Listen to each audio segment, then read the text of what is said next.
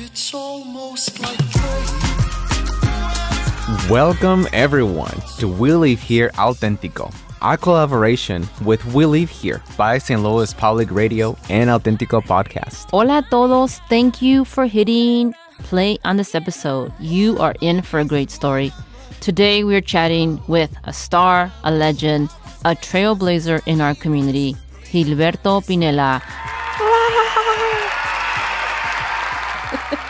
Oh my god, he's loving that you're saying all of those things, Gabi.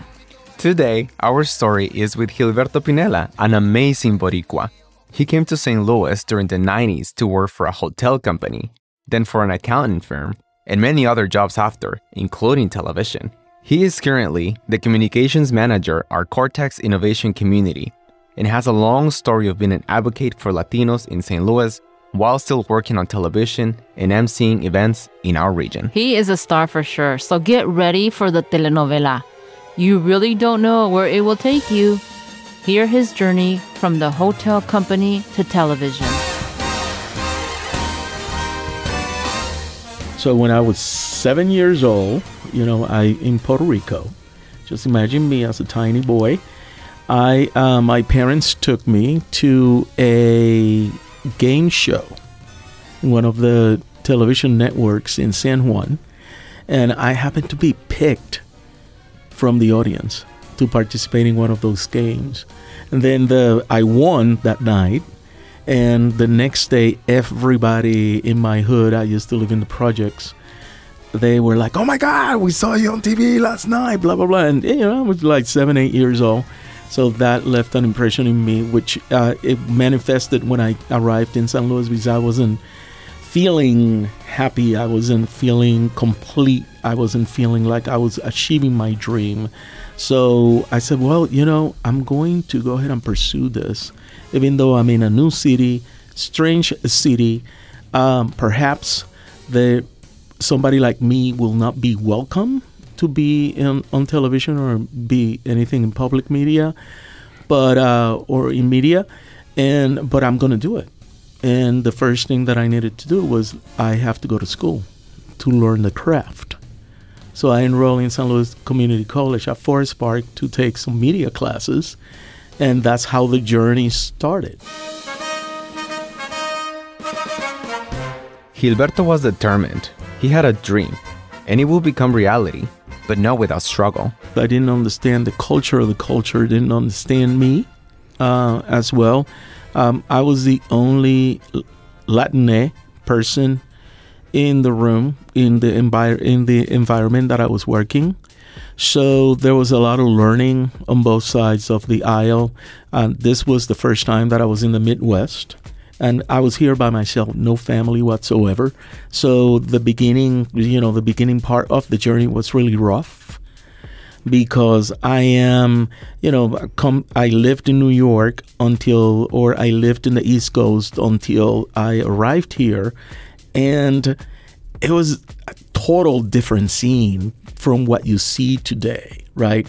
So, in order for me to find out where my Latino people were, I had to listen only on Saturdays on KDHX. There was one show hosted by um, Mateo Mulcahy called Sábados Tropicales. And that was it. It was two hours and nothing else. And then we didn't have any AM radio, we didn't have anything. So I arrived, I looked at Kiener Plaza, and I was like sobbing. Like, oh my gosh, for the first time, I miss my culture. Because, you know, you're in the East Coast, you're in New York, you're in New Jersey, and you see Latinos everywhere.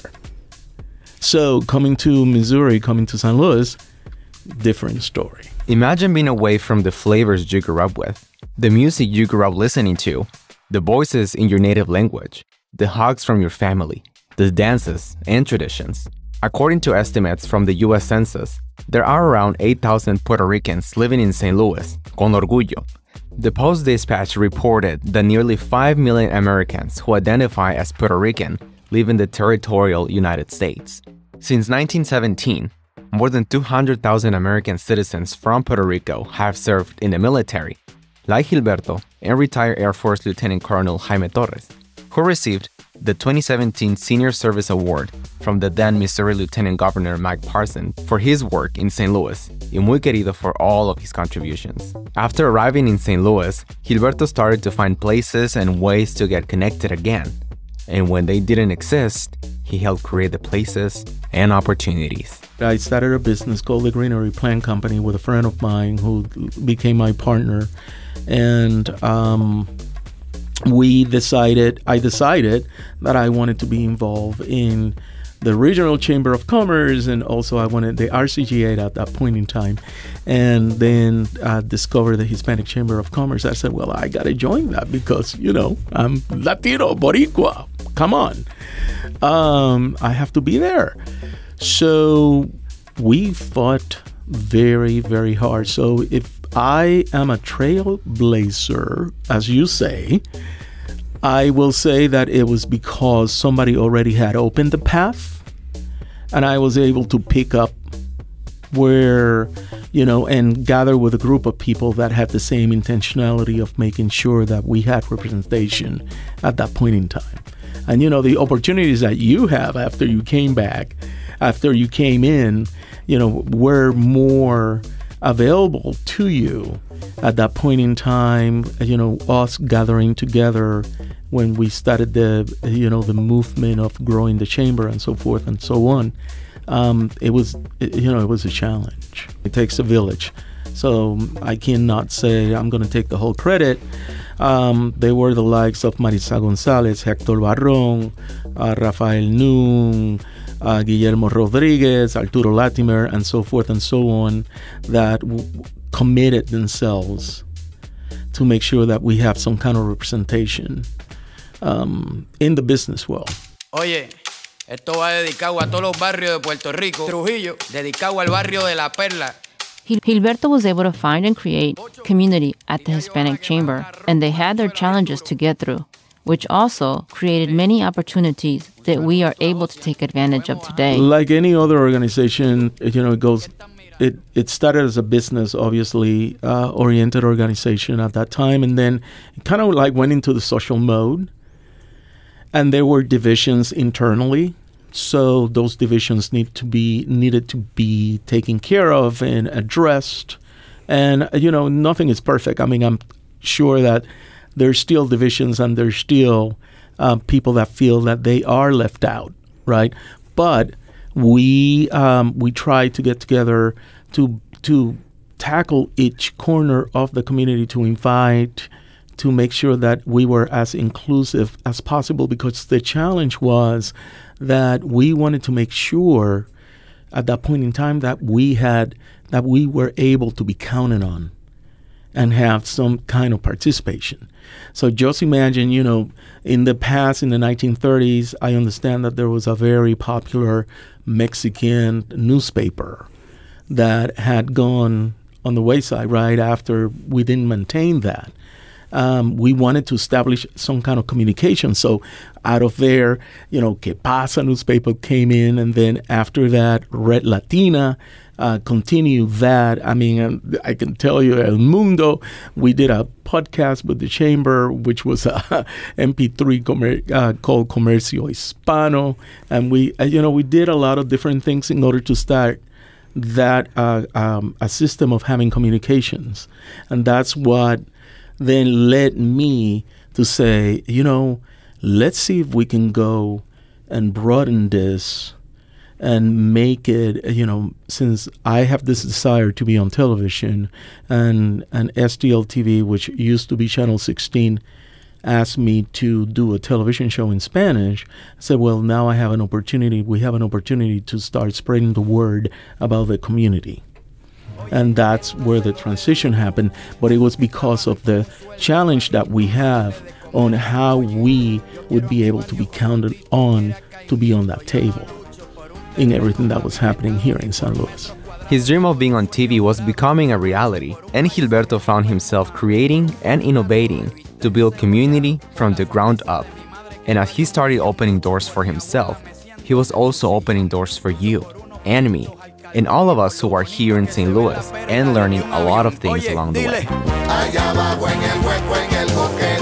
From St. Louis Public Radio, And PRX, this is we live here, auténtico.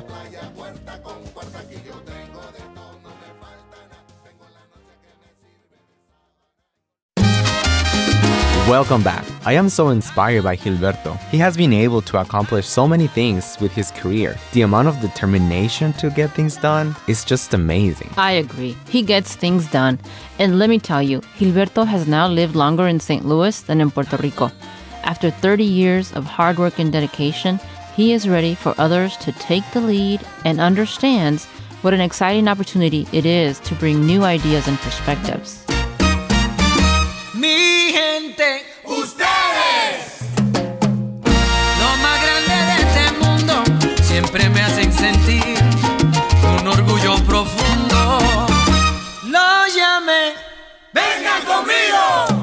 Everybody has a place and time to do the work that they need to do, but I believe wholeheartedly that's why I'm so excited that you're doing this and that you're doing this, uh, you're doing a podcast on NPR because you i did not want to i did never i never wanted to be the person that everybody wanted to come to and said oh you're the media person you're the media person it is all about giving the opportunity for new generations to come in. And even if they have to break the box and break the house and rebuild it let them do that. Do it. Just do it because allowed people to come in and bring new ideas, new um, information, whatever, new desires, new passions to the table so we can continue to move the community forward. But as long as I am here and I want to be the one that everybody thinks of, I don't want people to think about me. I want to, I did my work and now this is where you are, right? So I recommend to everybody that is in my position of being a dinosaur, step back. Let that new generation take over. Break the house, build it again if they need to do that. Don't go like, well, you know, we always did it this this way. We, you know, you have to stick with the plan. No, the hell with the plan, you know. As you are listening to Gilberto's words, think of times in which you have been the only one doing something, or maybe the first one ever doing it. He has been in that situation many times, and he sees opportunity in those scenarios and runs with it. Uh, you know, I, I like to uh, be an advocate for the communities that I represent or that I am a part of. So, for example, I'm a board member of Promo, which is LGBTQ rights organization, and we work very closely with the legislature in um, Jefferson City to make sure that you know bills like anti-trans bills or bills that are against the LGBTQ community, regardless of where you come from. Um, they're uh, you know are not harmful to us right so we we advocate and fight for legislation or fight against legislation that's going to be harmful um, I'm also you know, a commissioner with the Missouri Historical Society, so to me it's very important because we got to establish that legacy of um, our presence here in the state of Missouri from the beginning, right? And how it's going to look 30 years from now as we continue to see the demographic shift that's happening. So that's very important to me. And, uh, you know, I just look at where my value will be, where can I, contri- I, I contribute, and then be an advocate. So my interest of, of all the things that you do with the Hispanic Chamber of Commerce, for example, it is it I know that I don't have to be there because my uh, time and my talent and my experience, I think, is better served in an organization that has no connection to the Latino community or the LGBTQ community. So I can at least open up that door. So then you can walk through and and finish the job. For Gilberto, Embracing his true self was not always easy, but even with difficulties, the only option for him was to be authentic. which reinforces the mission of our podcast, as well as the work that several other organizations are doing to share our stories and that encourage each other to tap into our uniqueness and embrace it. Uh, you know, so I had to put my sexuality aside, although I'm very open. So it was it was very important to me for you as an individual to see me at that point in time as I am. So not somebody that I'm fabricating out there. Although, you know, my my uh, sexual identification or my identification in, in gender it doesn't uh, you know it's not nobody's business. It's my business. I felt like you know i was just going to be authentic. So if we had a conversation where i needed to step up and talk about my experience as a gay latino afro latino person i would step on and and you know talk to you about it and then lead that way. Was not without controversy. But um but you know you you just keep moving forward. You keep forging ahead. I mean if i'm going to let mm, the way that i feel about another person uh, be in the way of me moving forward then what's the point? You know because when you are authentic you can give the best you can give 150% of you and that is the biggest problem that we have like if we allow people to be themselves, uh, they can give 100%, 150% of their talent to something. And that it's nothing but better for the community, for the organization, for everybody, even the individual. So um, you're in a very much different position because we, you know, I, I will say that the door has been opened, the path has been laid. It really comes full circle, Gabby. Us being here and doing this partnership with St. Louis Public Radio is in direct relation to the work Gilberto and so many others have done in the past to open up opportunities for everyone that has come after. When I see Gilberto, I see myself, and I know that I can because of him. The door is open.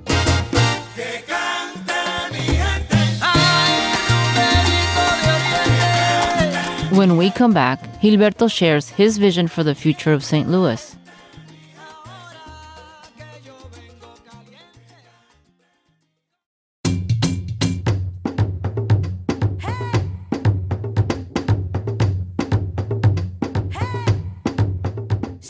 Welcome back. If you had an opportunity to transform our region forever, what would you do? What things would you add? Or why would you eliminate? Oh my God, Alejandro, the things that I would do. Our city has a lot of potential, and we are growing in so many ways. The reemerging from the pandemic has me seeing not just the gaps, but also celebrating all that we have been able to accomplish together. And we need to keep working within and across communities to be a better city for everyone because we all have a responsibility. We are, by definition, a part of the system that we are trying to change. And if we want to change that system, sometimes we need to change ourselves too. That being said, I really like Gilberto's thoughts on that. You know, I want to walk into a St. Louis where um, people are talking different languages, whether it's Spanish or, you know, Afghani or anything, Ukrainian.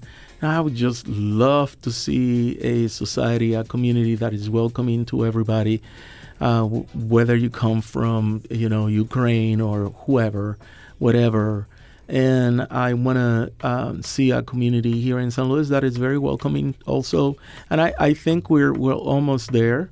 Um, but still, you know, the knowledge it, it it's building up, but it the knowledge of or the recognition that we have foreign-born communities and so forth, um, it's not up to where it's supposed to be. So, I would love for every organization to be very intentional um, and recognize that people from other places, you know, foreign born brown people that are coming here are making a mark, are making an impact, revitalizing and contributing to what's happening, and not just being a not being talked about as oh we want you here because we want to have that representation you know?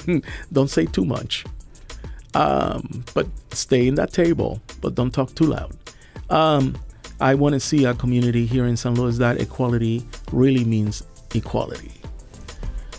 ¿Y para ti? Y para mí, déjame ver una cabaña en la playa. Ah, próximamente, nada más que disfrutando de cócteles y piña coladas allá en, en el paraíso, en una playa. Con un cabana boy. Uh, maybe. Yeah. or maybe more than one cabana boy. Let's go. Let's go. Let's go. Let's do this. yeah, no, I, I think that, you know, I, I mean, long term, I would love to be in the tropics again.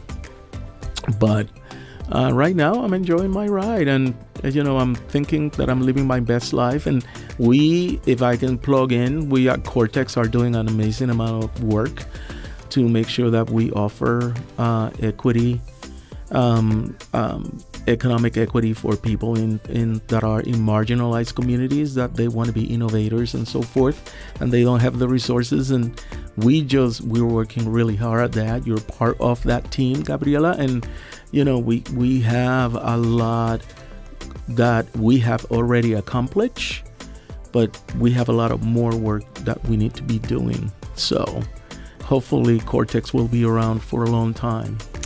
So we can get that done. If you're wondering about his TV career, he, of course, continues to work in his own telenovela.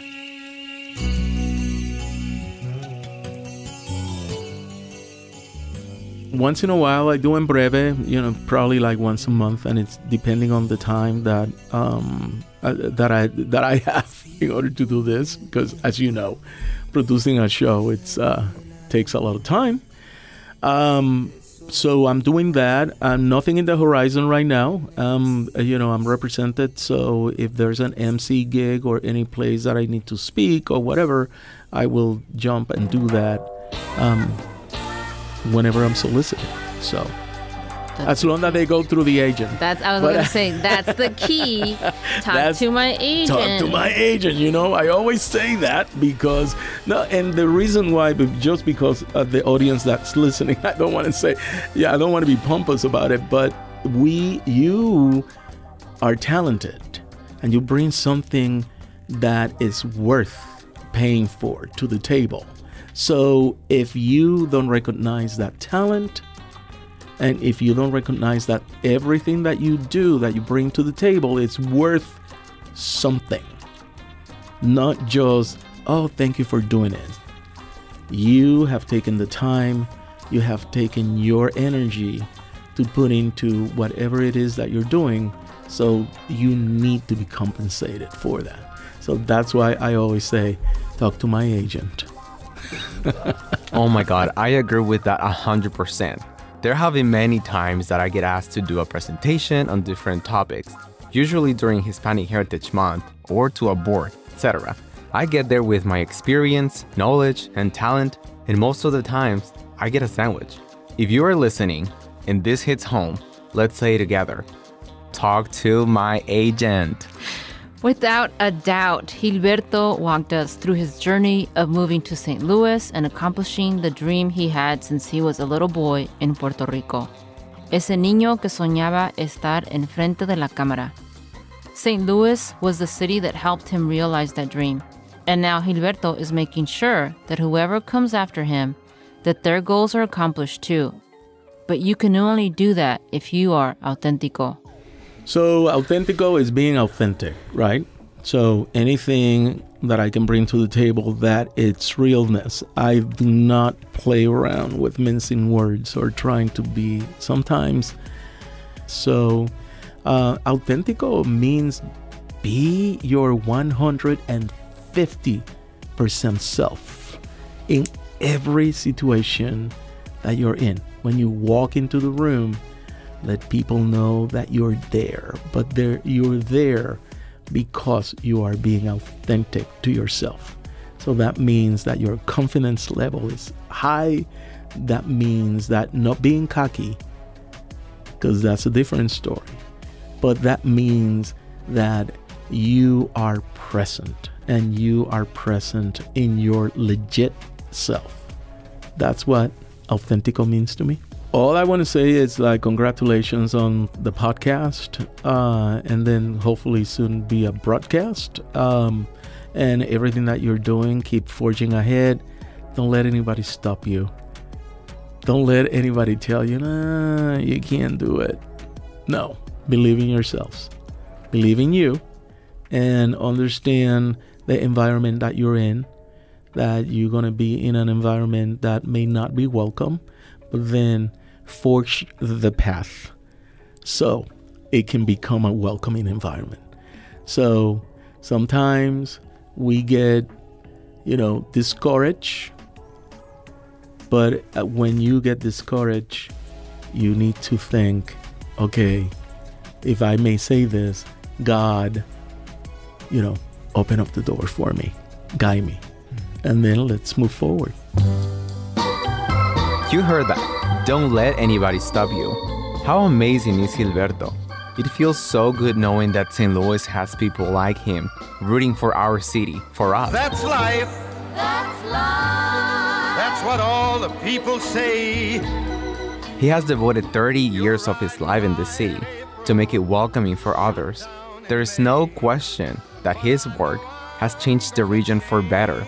Gracias, Gilberto. Thank you, Gilberto. We are personally so grateful for you and for continuing to open up spaces and places for other Latinos. I said that's life.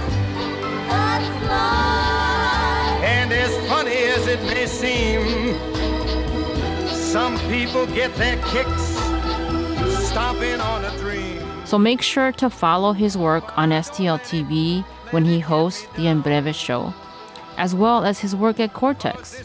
And thank you for listening. We'll catch up with you at our next episode. I've been a puppet, a pauper, a pirate, a poet, a pawn and a king. I've been up and down and over and out. And I know one thing. Each time I find myself flat on my face, I pick myself up and get back in the race. That's life. That's life. I tell you. We Live Here is a production of St. Louis Public Radio. Find out more about our guests, get show notes and more information, and of course, check out our previous episodes at WeLiveHere.show. St. Louis Public Radio is a member supported service of the University of Missouri St. Louis. Thanks for listening. Support for this podcast comes from the Corporation for Public Broadcasting.